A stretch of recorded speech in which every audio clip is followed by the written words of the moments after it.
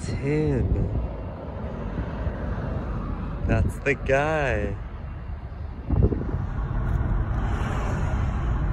I told you I'll find him. I told you.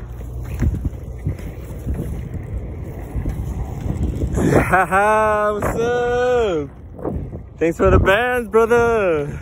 They're you. They're useful. I'm telling you, my imagination. Check it out. Ooh. Oh, Sam.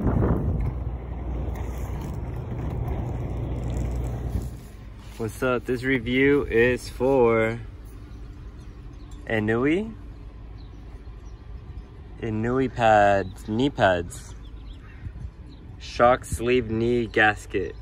That's the model, that's what it comes with.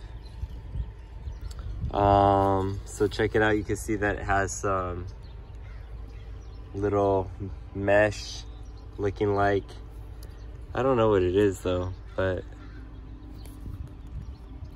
like, it's got a couple materials.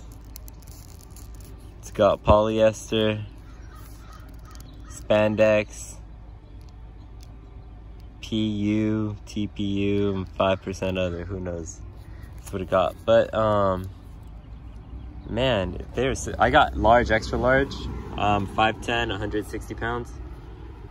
And these feel great. Um, they don't slide. I could put them under my jeans and you won't notice them too much. Um, unless you're like really trying to pinpoint them out. Um, I don't mind it being so loose. Don't I, I don't care.